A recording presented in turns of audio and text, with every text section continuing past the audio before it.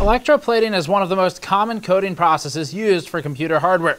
It's used to nickel coat cold plates and heat spreaders especially, as cooling solutions often use nickel plating as a protective coat for underlying copper. Electroplating with nickel has minimal loss of transfer efficiency for the underlying metal and provides maximum protective benefit against things like exposure to air and prolonged use.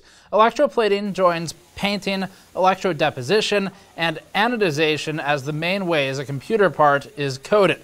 In this video, we'll explain how electroplating works, including an explanation of how nickel plating for coolers works, and this is all done in our factory tour series from when we visited Taipei in early March. Before that, this video is brought to you by Gigabyte Aorus RTX 2080 Ti Xtreme. The RTX 2080 Ti Xtreme is built with a triple axial cooling solution and ready for anyone interested in intermediate GPU overclocking although it's also up for gaming out of the box. The Gigabyte 2080 Ti can reach the higher performance range required to play games at frame rates at and beyond 144 FPS, coupled particularly well with games like Call of Duty Warzone, Rainbow Six Siege, and other competitive FPSs. Gigabyte's Xtreme is built to be a looker for system builders going for extra visual flair. Learn more at the link in the description below. The second coating factory that we toured with Lian Li specialized in electroplating, a process used to coat one metal with another.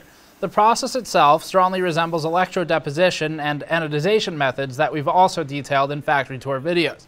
You can find our factory tour playlist linked in the description below if you'd like to see some of the other tours to learn more about how the stuff you buy is actually made. Electroplating is a specific subcategory of electrodeposition, meaning these parts are dunked in fluid and zapped with electricity. Today we'll be covering rack plating, barrel plating, and the elaborate filtering process this factory uses to prevent dumping toxic chemicals into the environment. This factory electroplates metals using two different methods, rack plating and barrel plating. Rack plating is the most closely related to the anodization and EPD processes that we've seen thus far, but this factory is larger than the others we've visited and has some unique features. First, the parts are placed on conductive metal racks and washed off. The racks may look like they're fully sleeved in insulation from a distance, but they're topped with thick copper hooks and the prongs that contact the parts are also bare metal. Rack plating is more expensive and laborious than barrel plating, which we'll cover next, but it offers better control over the finish of each individual part. Rack plating is better suited to large, fragile, or complex items, as well as decorative items, since it offers precise control over rack marks, or points where the coating is missing due to contact with the metal rack. We spotted VGA slot covers being plated at the time of our visit, but this factory also rack plates PCIe expansion slot covers like for network devices, motherboard trays, and various other case parts for companies including Lian Li. They plate much more than decorative PC components, however, like headphone jacks, seat buckles, and even fittings for scuba diving gear. This is a large factory that has its hands in everything.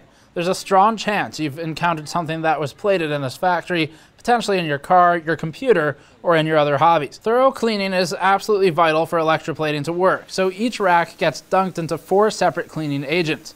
Each dip lasts up to two minutes, followed by a water rinse and the next chemical for a total cleaning time of about eight minutes.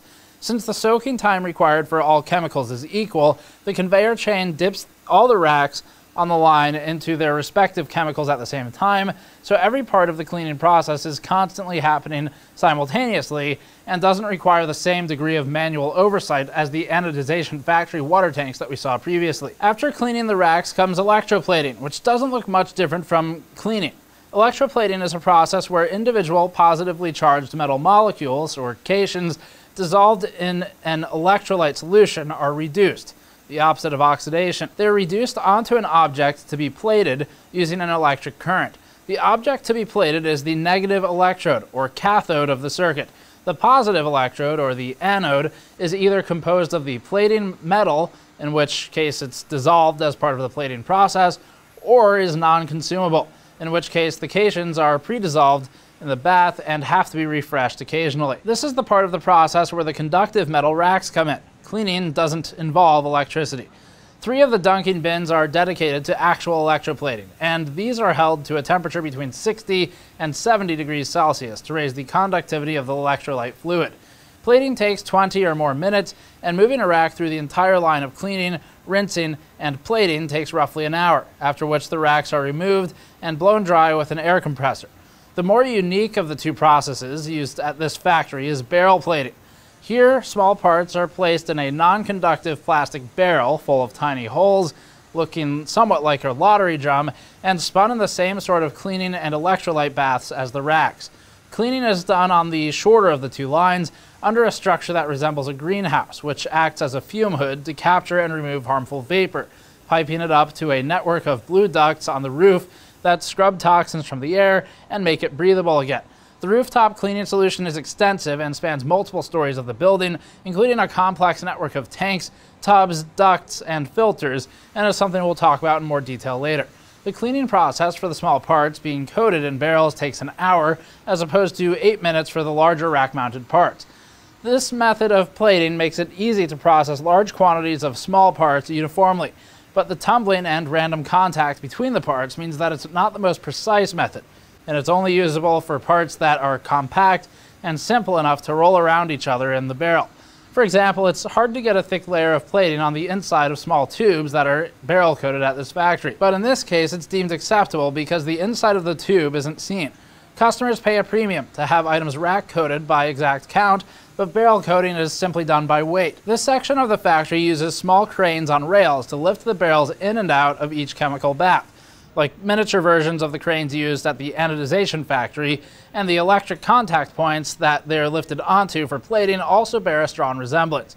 Each barrel has its own metal frame with contact points and a cog to interface with the crane.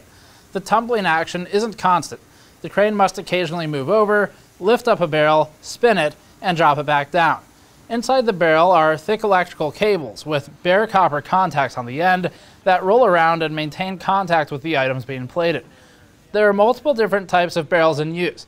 Barrels with bigger holes are more efficient and have less impedance for water moving in and out, but smaller holes are necessary to keep the parts from falling out of the barrels or from getting stuck, so it just depends on what's being made. Applying a layer of plating in a barrel takes 30 minutes, but some coatings are multi-layer. Nickel plating, for example, often uses a copper base coat, so the process takes an hour total.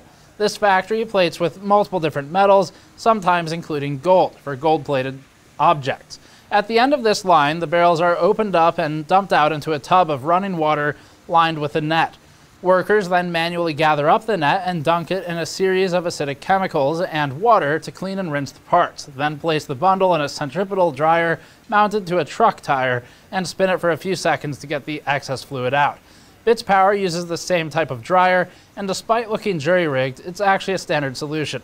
The large truck tire helps absorb the violent force and is an easy, effective solution. The net is next emptied out onto a tray and raked out for visual inspection with a tool resembling a back scratcher. For customers who require a coating to be more decorative than functional, like Lian Li, the company can simply replate the parts to cover up any flaws. For small components with tight functional tolerances, flaws in the plating require stripping the existing plate and redoing the whole process.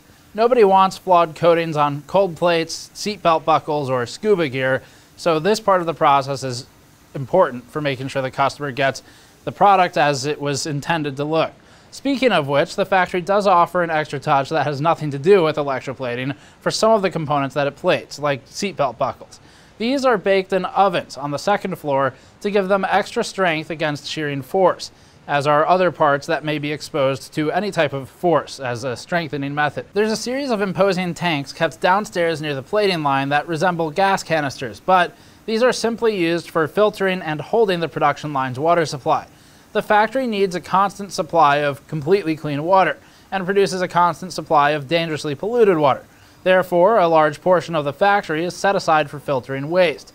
This factory specifically is used as a case study by the Taiwanese government because of the effort they invest in filtration. The government and the factory bring representatives in from other companies to do tours to better understand why the process works here. The building has multiple stories, but only the ground floor actually does electroplating, other than ovens and QA testing, the upper floors are occupied by this elaborate filtration process. The cleaned water flows through pipes down to the garage on the ground floor, where it passes through an open-air basin for drop-by surprise inspection by the Taiwanese government. Water released at the end must be clean enough to meet the Taiwanese government standards, and from what we understand with all three of the factories we looked at that do this, it's not something that they tell you about. They just come by and check. Upstairs is where the magic happens. We were told that the huge tanks lined up side by side are specifically for use in the filtering process, not for electroplating. These tanks contain NaOH, or sodium hydroxide, or lye, PaC, or polyaluminum chloride, H2SO4, or sulfuric acid, and NaOCl, or sodium hyperchlorite. There was also a tank simply labeled polymer, as well as bags of activated carbon nearby, the ubiquitous old filtration material. The first step is to take orange buckets of these chemicals and mix them with the polluted water. Vertical electric motors are scattered throughout the upper floors of the factory and used to agitate water and mix everything thoroughly. When this cocktail of chemicals is mixed with polluted water, it solidifies the pollutants and allows them to settle out as a concrete substance at the bottom, which can be scooped out for further processing. The two-story teal hoppers are specifically for allowing the water to sit so that this solidified waste can settle out, and the settled material is monitored by eye to ensure that the correct particle size is being produced. Once the wet but solid waste is gathered in bags, it can be loaded into the next stage, a pneumatic press that wrings out any remaining water. It's powered by a giant air compressor to the side, and the pressure gauge on the press read 2500 psi, or 175 kilograms per centimeter squared at the time of recording. Burning waste is commonplace, but the waste from this factory contains metals that make it especially dangerous to burn. The solid waste is instead squeezed into bags and shipped off to a recycling or reclamation center, which reclaims some of the metal. The really dangerous chemicals that can't be recycled or made use of at all are siphoned off into a small tank, which is taken away for disposal every six months. Electroplating isn't the most expensive process Lian uses for coating metal, but it isn't the cheapest either, at least in Taiwan. Anodization tops the list for cost, followed by painting and standard powder coating, and then electroplating, and then electrodeposition. Each has its strengths and weaknesses, and the desired surface finish must be balanced against the cost and durability of each process. With the entire production and cleanup process finished, the plated pieces can move on to QC on the second floor. The simplest part of this process is just another conveyor chain where workers remove finished pieces from racks, inspect them by eye, and pack them in boxes to be sent back to the customers. The more complex part of QC is the room where the factory does stress testing, as well as internal QC of its own manufacturing process. A salt spray tester like the one we previously saw in Cooler Master's factory is used to test the endurance of protective coatings on things like diving gear, scuba gear, things that will be subjected to harsh conditions but the degree of testing done here is up to the customer. Some customers might say it's okay for corrosion or damage within 24 hours of salt spray testing, while others might disallow any damage to appear ever. This is also where the mixture of chemicals used in electroplating and in filtering must be checked carefully every day, and where a tiny version of the electroplating drums used downstairs is used for prototyping. This mini drum was supplied by the same company as the full-sized version and works the same way but it's transparent for easier visibility while testing. Specific materials must be used for the drums and tubs to withstand the toxic chemicals used in the process. This covers the entire electroplating process from start to finish. Check our channel for our already published videos on things like anodization for aluminum parts and for upcoming videos in our factory tour series. Watch our coverage of BitsPower's factory for another example of a company that contracts out for electroplating but does a bunch of stuff in-house, mostly CNC work. Thanks for watching, subscribe for more, and to support this type of content, go to store.gamersnexus.net or patreon.com slash gamersnexus. Thanks for watching, we'll see you all next time.